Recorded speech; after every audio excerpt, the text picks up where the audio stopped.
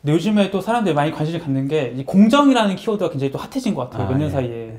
이 공정이 사람들의 관심이 많이 갖게 된 이유가 있을까요? 트렌드 책에서 본격적으로 다뤘다기보다는 네네. 몇년 동안 계속 누적되어 온 현상인데 공정은 오, 네. 그러니까 뭐 키워드로 봐도 이게 양극화가 심해지고 있잖아요. 네, 그쵸. 양극화가 심해지고 있다는 네. 근거도 많이 나오고 있고 네. 그리고 제일 그 안타까운 통계가 네. 이렇- 이- 특히 2030은 계층 상승 욕구가 대단히 높아요. 네. 네. 그러니까 계층 상승 욕구가 높다는 거는 기본적으로 자기네들이 맞춰서 살 수 있을 만한 그런 문화적 취향이 대단히 높다는 네, 건데 네. 다른 통계를 보면은 계층 상승 욕구는 높은데 네. 네. 실제로 계층 상승을 할 가능성은 대단히 낮게 보고 있어요. 음, 그쵸, 그쵸. 이 사이에서 뭐가 있냐면 부정적 감정들을 굉장히 쌓, 쌓고 있죠. 음, 그러니까 이 이슈가 아, 스파크만 한번 일어나면 네. 굉장히 불붙을 가능성이 매우 높은. 음. 그러니까 실제 이 성공할 이 계층 상승을 이룰 만한 가능성이 높아져야 네네. 공정에 대한 것들이 이슈가 덜 되죠. 음, 그쵸, 그쵸. 근데 이제 실제 통계로만 보면 네. 그 욕구가 있는데 네. 이거를 이룰 수 없는 환경이 계속 몇 년 동안 누적되어 오니까 네네.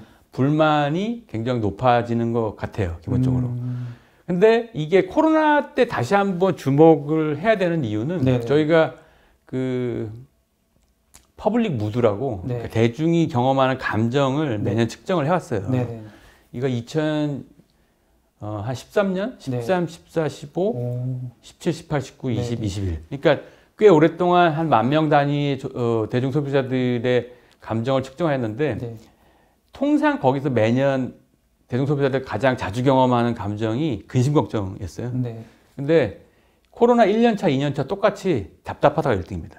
네. 이게 무슨 뜻이냐면 불만이 있으면 이거를 표출해야 될 그쵸, 공간이 표출해야죠. 필요해요. 그쵸. 근데 답답하니까 표출 못 한다는 네, 거죠. 네. 그러니까 누구를 만나서 한풀이라도 하고 아, 술 한잔 하면서 해야 되는데 네. 그렇게 그럴 수 있는 기회 자체가 원천 봉쇄됐으니까. 대단히 위험한 거예요. 아. 그래서 지금 당장은 네. 그걸 어떻게 소비하느냐? 네.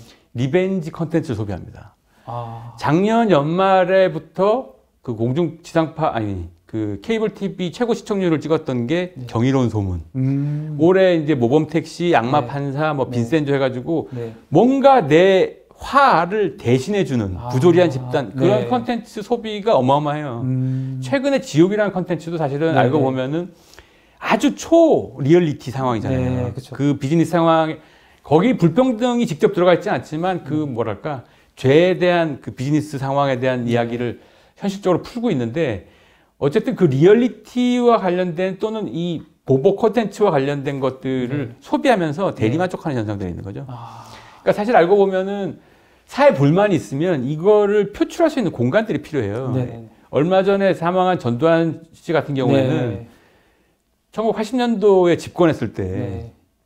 그 대표적인 정책이 3S라고 네. 섹스, 스포츠, 스크린 그쵸, 그쵸. 세 가지로 이 불만족 정권의 정통성에 대한 불만족을 가지고 있던 네. 이런 대중들의 불만들을 표출할 수 있는 공간들을 나- 마련해줬거든요. 네. 그러니까 그걸 소비하면서 그 경기장이나 이런 데서 이렇게 막 열광하고 이러면서 네. 그냥 일상적인 스트레스를 좀 날려버릴 수 있는 공간들을 줘야 되는데 지금 네. 코로나 때문에 그게 불가능하죠. 그쵸, 그쵸. 그래서 2022년도 정치가 중요해진 거예요. 아, 그 공간으로 아마 자기 대리인으로 대리전에 전- 전쟁을 할 수도 있어요. 그쵸, 그쵸. 예. 예를 들어 지금 2030 세대 특히 네. 그러니까 2030 중에서도 밀레니얼 세대하고 Z 세대가 좀 다른데 오, 네. 사실 Z 세대라고 하야지는 이제 90년대 후반생, 네. 90년대 후반 이후에 태어난 이 세대, 20대 한 중후반, 네. 중반 이, 이 세대의 굉장히 중요한 특징이 이 공정성에 대한 개념을 음, 기존의 청년 세대가 가지고 있던 공정성의 개념과 좀 다르게 어, 인식해요. 그래요? 그러니까 무슨 어, 얘기냐면 어, 예전에 네. 20대라 그러면 네. 사회에 저항하는 이미지였어요. 아, 반항적인 네, 이미지. 네. 제가 사실 이제 50대인데 네. 어쨌든 이제 그 제가 학교 다닐 때만 해도 이제 뭐 복학하면은 뭔가 이 아, 전투복 비슷한 네. 거물 까만 물 입고 다니고 네, 네. 그런 이상한 사람들이 되게 많았어요. 근데 어쨌든 이게 뭐냐면 그러니까 기존의 주류에서 약간 반항하는 이미지를 네. 되게 주요한 청년들의 이미지. 음. 그러니까 이 그 세대의 공정은 사회적 공정이죠. 아, 그쵸, 그쵸, 그쵸. 그런데 저희가 2021 트렌드 모니터를 통해 가지고 조사를 해봤더니 네네. 지금 20대들이 가지고 있는 공정의 이미지의 가장 중요한 게 뭐냐면 네.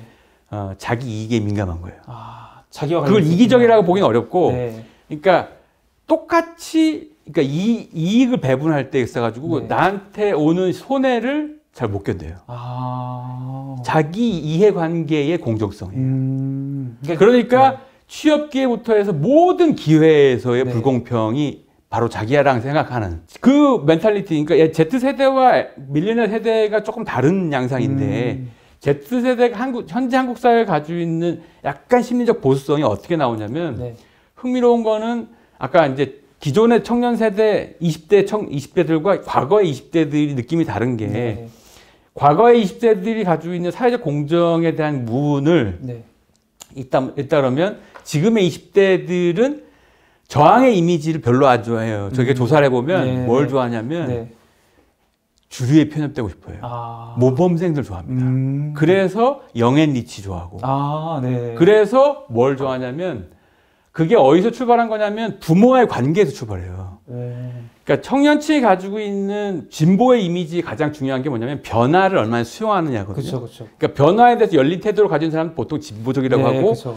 야 너무 변화하는 건 불안정성을 네. 끼고 있어 이게 약간 보수적인 태도인데 네. 어, 지금의 20대 있죠. 네. 변화를 별로 좋아하지 않습니다. 아. 그러니까 덜 수용적이. 30대가 훨씬 더 변화에 수용적이야. 오. 그런 차원에서는 지금 MZ 세대를 묶으면 안 돼요. 아. 밀레니얼 세대랑 Z 세대는 달라요 네. 거기에 대해서. 어. 그건 뭐랑 관련돼 있냐면 지금 Z 세대는 부모 세대랑 관계가 좋아요. 아. 그리고 밀레니얼 세대라고 하는 지금 주류 30대들은 네. 그 앞에 베이움 세대랑 관계가 별로 안 좋아요. 그 지금 말씀하신 게 약간 그 정치권에서 말하는 약간 20대 보수화 아, 랑 관계가 있죠. 있는 거예요. 그러니까 이 Z세대의 부모 관계가 좋다는 게 이게 되게 중요한 키워드인데 이게 뭐냐면 네. 부모와의 관계가 생각보다 나쁘지 않으니까 부모가 마련해주는 세계가 생각보다 편한 거예요. 음. 30대는 그쵸, 그쵸. 30대 부모가 누구냐? 우리나라로 흔히 말하는 86세대 같은 네, 거예요. 그러니까 그쵸. 80, 87년 항쟁부터 해서 한국 사회에 이끌어도 주류, 네. 지금도 주류로 그쵸. 가지고 있던 이 기득권 세력인데 네. 이 세대는 한국 사회에서 성공해본 경험들이 많아요. 음. 그러니까 이 세대가 진화해 나가면서 뭐 연금 제도도 바뀌고 네. 다 바뀌잖아요. 네. 인구 문제도 그 부분부터 시작됐고 네. 700만 명들이 왔다 갔다 하니까. 그러니까 근데 이 세대의 특징이 뭐냐면 주인의식이 엄청 강하거든요. 음. 그러니까 한국 사회를 그분들의 그 삶의 지향점대로 움직여 왔으니까 네, 네. 당연히 자녀 세대에 대해서도 야 이렇게 해봐. 네. 야 이걸 이걸 못해? 음. 그러니까 성공해본 경험들하고 커뮤니케이션 하는 게 힘든 거예요. 메시가 감독하면 안 되는 게 그런 그렇죠, 거죠. 그렇죠. 야 몰고 가서 슈팅 골 그걸 못 넣어? 뭐 이렇게 똑같잖아요. 그러니까 주류 세대의 mentality의 특징은 기본적으로 자녀 세대한테도 자기의 성공 방식을 그대로 강요한다는 거예요. 음. 그래서 밀레니얼 세대는 주류 30대인 밀레니얼 세대는 부모 세대랑 관계가 좀 안 좋다니까요. 아. 그래서 상대적으로 이 세대는 진보적이야. 음. 변화에 대해 좀 열려 있어. 어. G 세대는 네. 부모의 관계가 괜찮으니까 네. 이 세대에는 기본적으로 어 부모랑 같이 잘 지내. 그래서 네. 뉴트로라고 하는 컨텐츠도 거기서 나온 거예요. 아, 그러, 그러네요, 진짜. 네. 오. 어 부모 야 나, 나도 쓰던 건데 아빠도 쓴 거야. 어. 내가 보기에도 괜찮아. 어, 그래서 그러네. 이게 시장이 확 크는 거죠. 아, 이게 맞물려서 이게. 특별한 거는군요. 이게. 그러니까 Z, 네. 세대랑 밀레니얼 세대를 같이 놓고 분석하면 100% 실패합니다. 아, 야. 정치권에서도 이거 분리해서 생각해야 돼요. 네. 와, 이게 놀라운 insight. 네. 진짜 대단. 아, 뉴트로 열풍 그렇게 연결되는구나. 아. 가족 중심으로 재편된 소비 공유도 이제 책에서 많이 쓰셨던데. 네네. 그게 이제 마찬가지 맥락일까요? 마찬가지 맥락이기도 하고 코로나 때문에 이게 좀 가중화됐죠. 음. 저희가 2017년도에 조사를 해본 거를 보면 기본적으로 어, 세대 인식의 차이는 네. 건널 수 없는 강이 있어. 조사해봐도 야 이거 같이 가기 힘들겠다 뭐 이런 식의. 네. 예. 그러니까 만 원이 있을 때 라떼를 라떼나 그 스타벅스 같은 경우에 이런 걸 네. 확보해 놓고 나머지 값으로 밥을 어떻게 조리 네. 있게 잘 먹을까 네. 이런 걸 고민하는 밀레니얼하고 Z 세대의 mentality를 네. 기성의 5060 베이비 부머들은 이해 못해요. 음. 만 원이면 밥을 제대로 먹어. 아, 그쵸, 그쵸, 그쵸. 어, 네. 그 커피 뭐 그냥 달달한 믹스 커피 한 잔 먹어도 네. 되는데 사무실에 있는 거 이걸 뭐 이해 못해요. 음. 그러니까 기본적으로 그 인식 차가 크기 때문에 네. 건널 수 없었는데 네. 그 코로나 때문에 2020년하고 21년도에 네. 주구장창 집에 같이 있었잖아요. 그쵸. 그러니까 이 사람들이 경험을 나누기 시작한 것 같아요. 아, 어. 어, 그 중에 하나 근거가 뭐냐면 네, 작년에 대형 화면 TV가 엄청 잘 팔렸습니다. 아, 어, 왜, 왜 그렇죠? 그건? 그게 원래 이상한 네. 현상인데 2014년부터 15, 16, 17 쫙 하락하고 있었어요. 네. 그게 뭐랑 관련돼 있냐면 2016년을 딱 계기로 해서 지상파가 광고를 다 못 팔았어요. 음, 유튜브가 광고 그쵸. 시장에 확 네. 그러니까 2016년에 골든 크로스가 일어나서 모든 광고가 유튜브 쪽으로 더 쏠리기 시작했어요. 네. 지상파는 광고를 그렇죠, 못 팔아. 그렇죠. 맞아요, 맞아요. 네. 그런데 그건 무슨 뜻이냐면 이제 미디어가 다 개인화되고 있다는 거예요. 그렇죠. 그러니까 거실에 딱 이렇게 TV를 놓고 같이 보는 경험들이 줄어들고 있었는데 네, 2020년도에 무슨 일이 생겼냐? 이게 네. 터닝 포인트가 확 생겼습니다. 네, 대형 화면 TV가 삼성전자가 너무 많이 팔아가지고 네. 어, 인센티브도 사실 반도체 많이 팔아서 생긴 기도 하지만 그보다는 TV 팔아서 생긴 거예요. 어. 네. 네. 그때 확 팔았고 네. 그 다음에 흥미로운 것 중에 하나는 저희가 올해 조사해봤더니 네. 40대, 50대하고 60대 일부가 네. 10대, 20대, 30대가 하는 모바일 전략 게임 같은 것들을 다운받아서 하는 경험들이 확 늘었어요. 음. 그게 이제 예전에 무슨 뭐 쿠키런처럼 네. 단순한 게임이 네, 아니라 네. 약간 전략들이 있어야 돼요. 어. 이게 커리어 파워도 쌓아야 네, 되고 네, 알, 네. 아시죠 네, 뭔지 네, 알죠, 알죠. 경험치를 네. 쌓아야 네. 뭔가 하잖아요. 네. 그걸 그거 사실은 네. 50대 분들은 잘 혼자 못합니다. 그렇죠, 그렇죠. 예, 가르쳐 줘야 돼요. 네, 그렇죠. 자녀 세대가랑 같이 하는 거죠. 네. 그다음에 또 하나 흥미로운 게 어, 장 올해 이제 굉장히 많이 늘었던 게 골프 용품 음. 이런 게 확 늘었거든요. 네, 네. 그리고 이제 스크린 골프나 그 일반 골프장의 예약률이 굉장히 많이 늘었어요. 음. 그러면 사람들이 코로나 때문에 혼자 가나? 아니요, 가족들하고 갑니다. 아. 2030이 거기서 네. 역할을 했는데 저희가 조사해봤더니 올해 골프장이나 스크린 골프장에 갔던 사람들의 20대들의 10명 중 7명이 부모랑 같이 가는 거예요. 아. 부모가 같이 가거나 부모가 골프 경험이 있는 거예요. 음. 이제 세대 간의 그 취미 생활의 경험들이 네. 공유되고 있는 거예요. 아. 그러니까 가족 중심으로 어디 야외나 이런 걸 가고 싶어도 네. 불특정한 사람들하고 가기 좀 불안하니까 그렇죠. 가족들하고 가는 거죠. 아. 이제 뭐 사- 등산도 같이 가는 경험이 많아지고 있거든요. 네, 네. 물론 이제 거기서 얘네들 자녀 세대가 같이 가고 싶어 하더라. 이거는 한번 생각해 보셔야 돼요. 네, 네. 진짜 가고 싶어 하는지. 예. 아, 그러니까 이게 지금 약간 생각이 나는 게 요즘 등산 열풍, 뭐 일단 골프 열풍 이런 것들이 네네. 이제 이렇게 가족 간의 그 소비 그 취미 공유가 이어지면서 같이 열풍이 되는 거라고 이해될까요? 그러면? 그렇죠. 아. 그래서 그게 가족 관계가 그러면 좋아, 좋아지는 걸 확 반전했냐? 반전은 잘 모르겠는데 네, 네.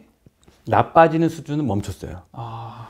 유럽 같은 데서는 지금 네. 특히 영국 같은 데서는 이혼율이 급증해가지고 그걸 네. 코비 디보스란 용어로 따라 설명을 하잖아요. 네, 네, 네. 하루 평균 한 90분 정도 같이 있다가 15시간씩 같이 있으면 미쳐요. 그쵸. 미쳐요. 싸우죠, 당연히. 그래서 그 높은데 우리나라는 네. 2020년과 얼마 전에 발표된 2021년도 이혼 통계가 다 떨어졌습니다. 어. 물론 네. 이혼율 감소가 바로 가족 간의 관계가 좋아졌다 이렇게 해석하기는 어렵지만 네, 네. 간접적으로 추론할 수 있는 그쵸. 경우는 있죠. 네. 그럼 그 대형 TV가 많이 팔렸다라는 거는 우리가 이제 어떻게 이해해야 될까? 그 약간 넷플릭스 같은 컨텐츠를 같이 소비하기 시작했다고 넷플릭스 그 관객들의 70%가 네. 대형 화면으로 봐요. 아. 그 경험은 뭐냐면 네. 이제 가족들이 방에 각자 있다가 네. 거실에 나 같이 보는 거죠. 아. 소통이 일어나고 있다는 겁니다. 아 제가 진짜 5년인가 한 7년 그때 전에 그 타임지 같은 데서 시사 완평을 봤거든요. 근데 거기에 이제 뭐가 있었냐면은 이제 TV는 걔만 보는 세상이 네. 왔다 이렇게 게 생각나거든요. 이게 또 바뀌었군요 이게 완전히. 음, 바뀌었죠. 이 유튜브 시대가 이제 열리면서 많은 사람들이 유튜브를 학습을 하고 있잖아요. 네. 저도 이 독서법 책을 썼습니다만 누가 요즘에 책을 보냐 유튜브에 다 전문가 나와서 좋은 얘기 해주고 좋은 지식도 나, 나오는데 그리고 이제 이런 시대가 왔을 경우에 어떻게 세상이 변하는 걸까요? 어떻게? 네, 별로 안 좋게 될 것 같은데요. 왜냐하면 그러니까 기본적으로 트렌드 변화는 분명해요. 네. 짧은 컨텐츠 소비하는 게 주류입니다. 네. 주류 변화이고 네, 그래서 뭐 쇼폼 컨텐츠니 틱톡이나 뭐 이런 것들은 뭐 몇 초 몇 초 되지도 그렇죠. 않잖아요. 15초 네. 되죠. 네. 야 그거가 그렇게 유행한다는 것도 흥미로운 건데 네. 저희가 조사를 해본 자료는 유튜브도 이제 뭐 많이 보시고 이게 일상화 됐어요. 생활이 됐고 네. 이게 학습의 중심으로 왔어요. 음. 그러니까 많은 공부를 책이나 텍스트로 하는 게 아니라 글 중심의 텍스트로 하는 게 아니라 네, 네. 이제 유튜브로 공부를 하죠. 음. 유튜브 공부를 하는데 문제는 뭐냐? 네. 유튜브로 공부를 한다 해도 네. 15초로 공부를 하기는 어렵잖아요. 어렵죠, 어렵죠. 예. 최소한 뭐 2, 30분 이렇게 1시간 이상 이렇게 돼야 되는 공부를 해야 될 텐데 네. 30분 이상 네. 유튜브를 보는 사람이 저희 조사로는 0.9%밖에 안 됩니다. 아, 그렇죠. 30분 이상 보기 쉽지 네. 않죠. 근데 그분들도 주로 어떻게 보냐?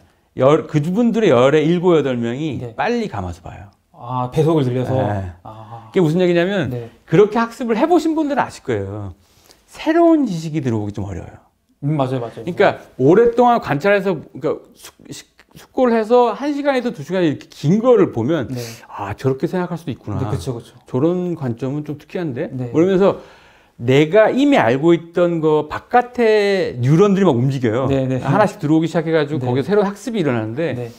빨리 감으면 내가 알고 있는 것만 이렇게 그렇죠. 체크를 하는 확인하는 거죠. 그렇죠. 이미 알고 있는 네. 이게 이게 뭐냐면 일종의 태도의 보수화를 만들어냅니다. 음. 새로운 생각에 대한 어, 이해를 넓히는 게 아니라 아. 기존에 알고 있던 거를 확인시켜 확인하는 거군요. 어. 이게 그래서 좀 걱정되는 게 뭐냐면 네. 2018년에 저희가 조사를 했던 게 뭐냐면 네. 주변의 사회적 상황에서 예를 들어서 뭐 시위를 하거나 이러면은 네. 2018년 때까지 조사를 해보면 10명 중에 저- 6명 가까이가 저기 왜 하지 궁금해서 찾아본다는 거예요. 아, 네. 그래서 무슨 일이 있지? 저기 네. 시위하는 이유가 뭐지? 아, 그 장애우들이 저기 그 지하철에서 뭔가를 하- 하고 있구나. 라는 거 최소한 알고 있어요. 거기에 대한 태도가 이- 가치 판단하기 전에 네. 그걸 찾아봐요. 음. 근데 2020년과 2021년도에 걱정되는 건 뭐냐면 그 경험이 확 줄어들었어요. 음. 그러면 이제 10명 중 6명, 10명 중 4명이 안 돼요. 그걸 네. 찾아보는 사람들이. 아, 네. 그러니까 새로운 뭔가 이슈가 생겨도 그걸 궁금해 하는 경우가 적고 네. 뭐가 올라갔냐면 네. 짜증을 내요. 저 왜 하냐? 그게 뭐확 올라가고 있어요. 어. 그- 이게 제일 걱정인 거예요. 음. 이렇게 되면 공동체로 사- 서로 간에 그런 이슈를 제기하고 하면은 네. 이게 연대감이라는 게 형성돼야 되는데 그쵸. 이게 자꾸 이제 또 흩어집니다. 아, 이게 제일 걱정되는 거죠. 아, 그 원래 유튜브가 또 그런 봤던 영상을 또 추천해 주잖아요. 계속. 네, 그래서 이제 오히려 나랑 반대되는 입장에 있는 영상들은 오히려 추천 안 해줘서 그렇죠. 더 그 경향이 또 심화되는 것도 있잖아요. 그거를 이제 작년과 올해 저희가 지적한 게 필터 버블인데 네. 필터가 있잖아요 기본적으로 그래서 뭐 내가 부동산 상승, 상승론자면 계속 그쪽에 정보가 오고 아니면 네. 하락론자면 계속 그쪽 정보가 오더라고요 네. 근데 이거를 내가 스스로 이 뭐 이렇게 로그를 남기거나 이런 방식으로 하지 않으면은 네. 나랑 내 생각에 맞는 정보만 이 정치적인 상황도 포함해서 계속 반복된다는 거죠 음. 그러면 내가 가지고 있는 신념이 네. 편견이 될 수도 있어요 그쵸, 그쵸. 강화되는 거죠 네, 그쵸, 강화되죠. 이 현상과 관련돼 있습니다. 그래서 사실 이거 보시는 분들은 적극적으로 네. 다양한 이야기를 한번 검색해서 음. 기록을 남겨놔야 다양하게 와요. 그쵸, 그쵸. 디지털 맞아요. 시대 정보는 기본적으로 내가 찾아가기 전에는 나한테 맞춤형의 정보만 올 수밖에 없기 때문에 네. 이 프로세스는 중요하다고 봅니다. 아. 요즘에 그 이제 MZ 세대들이 사표를 많이 던지잖아요. 네. 그러니까 제가 이게 좀 트렌드를 좀 저도 이제 나름 보면은 과거에 뭐 퇴사 학교라고 해가지고 퇴사 열풍 엄청 불다가 뭐 코로나가 되면서 갑자기 막 구조조정을 하면서 네. 굉장히 이제 사람들이 그 내 직장의 소중함을 느끼게 됐다라고까지만 좀 알고 있었거든요. 네. 요즘 MZ 세대들은 뭐 사표를 많이 던지는 편인가요? 아니면은 어떤가요? 그게 많이 던지죠. 어, 그럼 왜 던지는 거예요, 대체? 많이 던지는 게 가장 중요한데 근데 네. 사실 많이 던지는 것보다 더 많이 던질 수 있죠. 네. 근데 더 고민이 되는 거는 지금이 그렇게 직장이 늘어나고 있는 좋은 시절이 아니라는 거예요. 그쵸, 그쵸. 그러니까 직장 수는 한국은행 보고서나 정부에서 나오는 그 코로나 이후의 보고서들을 찾아보면 네. 직장 수는 자꾸 줄어들고 있어요. 음. 그게 이제 단순히 기계가 대체, 기계가 그 로봇, 기계나 로봇에 의해서 대체되고 있다는 차원을 넘어가지고 네네. 아, 아주 집중적으로 어, 로봇이 할 수 없는 일 아니면은 네네. 직업이 늘긴 좀 힘든 음. 산업 구조가 되어 있다는 쪽에 보고가 많은데 네네. 그래서 일자리 수는 줄어드는데 네. 그 청년 세대가 일자리를 그만두는 경우가 많은 거죠. 음. 근데 사실은 여기, 근데 여기 관 그만두지 않으면 또 어떻게 되느냐? 네. 최근에 다른 신문에 읽고 보다가 제가 그러면 이른바 우리가 생각하는 좋은 직장이라고 하는 네, 그렇죠. 공무원이나 네. 공기업 어, 가시는 분들은 어떻게 하냐? 네. 너무 좋은 회사니까 이걸 그만두면 다른 데 또 가기 어렵잖아요. 어렵죠. 스스로 뭔가 그 직장에 직장 내 괴롭힘이나 여러 가지 문제가 생기면 네. 그걸 해결하기보다는 어, 극단적 선택하는 경우도 많아요. 음, 그만두지 못해서. 젊은 친구들이. 그만두지 예, 못해서. 젊은 분들이. 그러니까 이 경우도 좀 포함해가지고 네. exit하는 방법 월급에 대한 고민들을 나누려고 하는 사람들 많은데 네. 그 가장 큰 중심에는 뭐냐면 네. 언론 찾아보면 다 월급 많이 주면 되는 것처럼 돼 있어요. 그렇죠. 아니에요. 그 뭐예요? 월급은 많이 주지 말라는 얘기가 아니고 필요하죠. 많이 줘야죠. 네, 기본적으로. 네. 그래 왜냐하면 이분들이 가지고 있는 문화적 취향이 대단히 높기 때문에 네. 월급에는 만족 못합니다. 당연히 투자를 따라가는 행위로 들어가야 되는 거고. 그렇게 이해를 해주셔야 되는 거고 네. 그러면 월급 은 고민은 많이 해야 되겠지만 회사 매출이 안 오르는데 월급을 많이 줄 수가 없잖아요. 그쵸, 그러니까 그건 다 연동해야 되는 네. 거고 그러면 월급 말고 혹시 다른 이 친구들을 retention 할 수 있는 대안이 뭐냐? 네. 기본적으로 오, 통제감을 줘야 돼요. 통제감. 어. 네. 시간 선택권 같은 거 줘야 돼요. 가장 아. 선호하는 게 뭐냐면 네. 주중에 일, 일찍 퇴근하는 거예요. 아. 유연 근무제 같은 거예요. 그러니까 음. 핵심 core 시간은 있고 네. 뭐 예를 들어서 10시부터 4시까지 네. 그 시간만 남아 있으면 앞에 출근 일찍 해가지고 그 시간을 채우거나 음. 그 이후에 출근해서 시간 네. 채우거나 아니면 하루에 그 시간 save 해가지고 주말 뭐 하, 일주일 중에 한 하루를 비우거나 네. 이런 식의 자기 라이프 스타일에 맞는 네. 시간 선택권을 주는 거를 2030 세대가 제일 좋아합니다. 근데 그, 그 말씀을 이제 그 MZ 세대의 그 핵심 인재들, 우수한 인재들을 이제 끌어들이기 위해서는 연봉을 높여주고 이런 것보다도 그들에게 연봉을 높여줘야 돼요. 여기서 오해 생겨가지고 저 욕 엄청 먹었어요. 아 진짜요? 네. 어. 연봉을 높여주도록 노력해야 되는데 네, 연봉 기본이고. 회사에 한 네. 그걸 높여주는 건 한계가 있으니 음. 그것보다 더 중요한 거는 시간 선택권을 주는 게 중요하다. losing all momentum. Just because it's easy Well, that don't make it better.